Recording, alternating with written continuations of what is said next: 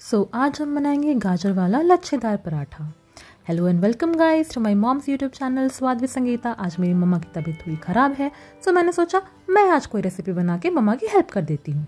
और जैसा कि आप देख सकते हैं कि कितने ही सुंदर और अच्छे लच्छे बने हैं इसके। तो ज़्यादा टाइम ना वेस्ट करते हुए चलिए जल्दी से स्टार्ट करते हैं इसे बनाने की रेसिपी सो so, सबसे पहले हम क्या करेंगे? एक गाजर धोएँगे और उसे छोटे छोटे पीसेस में कट कर लेंगे। फिर इसे हम मिक्सर ग्राइंडर में डालेंगे और इसका पेस्ट बना लेंगे।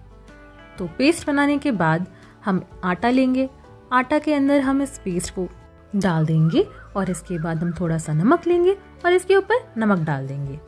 इसके बाद हम थोड़ा सा अजवाइन मंगरेल लेंगे और अजवाइन मंगरेल भी इसके ऊपर छिड़क देंगे। इसके बाद हम थोड़ा सा घी लेंगे और घी भी डाल देंगे। इसके बाद हम इसे अच्छे से मिक्स कर लेंगे। मिक्स करने के बाद इसका डो बना लेंगे। डो बनाते वक्त हमें अगर पानी की ज़रूरत पड़ेगी तो मिक्सर ग्राइंडर के अंदर जो गाजर पिसा हुआ था, उसके अंदर ही पानी डाल के उसको यूज़ कर लेंगे। अच्छे से डो बना के हम इसे 10 मिनट तक ढक के रख देंगे। अब देखिए 10 मिनट हो गए हैं, मैंने इसे ओपन किया है और ये डो हमारा काफ़ी सॉफ्ट हो गया होगा। इसे वापस से हम थोड़ा सा नीड कर लेंगे। नीड करने के बाद अच्छे से अब हम इसका छोटा छोटा छोटा छोटा गोला बनाएँगे और इसको हम बेलेंगे। बेलना कैसे है गाइस बेलना बिल्कुल वैसे ही है, जैसे आपकी पॉकेट में सिगरेट पकड़े जाने पे आपकी मम्मी आपको पतला पतला बेल देती थी। बिल्कुल वैसे ही पतला पतला बेल देना है। तो देखिए, अब मैं बेल रही हूँ। बिल्कुल वैसे ही, जैसे मम्मा मेरे भाई को बेला करती थी अनफॉर्चुनेटली सो so गाइज़ जैसा आप देख सकते हैं, हमारे आटे का जो कलर है, वो ब्रिक रेड कलर पे आया है। तो ये देखने में तो सुंदर है ही, और खाने में तो क्या ही बताऊँ। और साथ ही साथ इसमें गाजर डला हुआ है तो ये थोड़ा हेल्दी भी है। तो अब हम क्या करेंगे, इसके ऊपर थोड़ा सा घी लगाएँगे। तो हमने घी ले लिया है यहाँ पे, और घी इसके ऊपर अच्छे से हर जगह पे लगा देंगे। इसके बाद हम थोड़ी सी कसूरी मेथी और चिली फ्लेक्स को साइड में रखेंगे।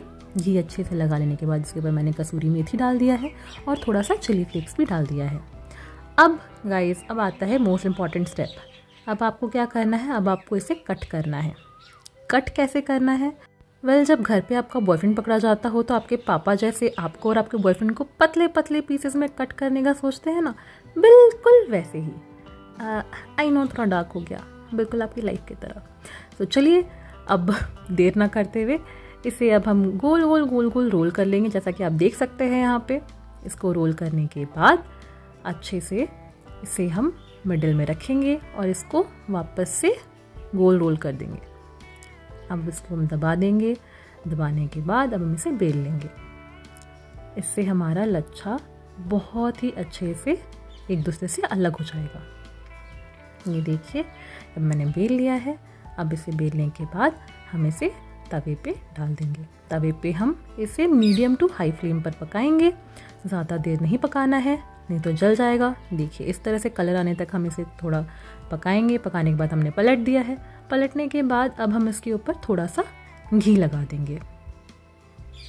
घी लगाने के बाद हम इसे वापस से थोड़ा पलट के पकाएँगे और इसके ऊपर भी घी लगा लेंगे।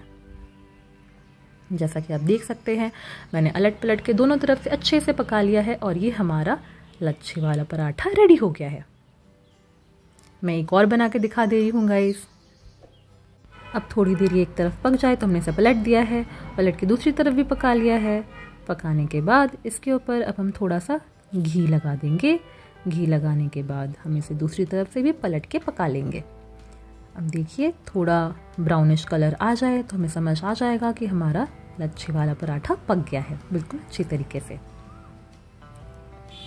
दोनों तरफ़ से हमने अलट पलट के पका लिया है। अब देखिए कितना सुंदर ब्राउन कलर आ गया है।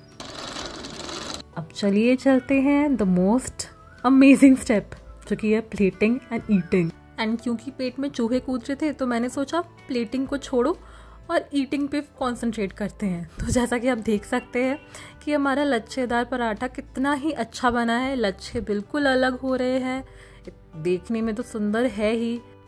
एंड अब मैं इसे इंजॉय करूँगी मिर्ची वाले अचार के साथ। हम्म देख के ही मुँह में पानी आ रहा है।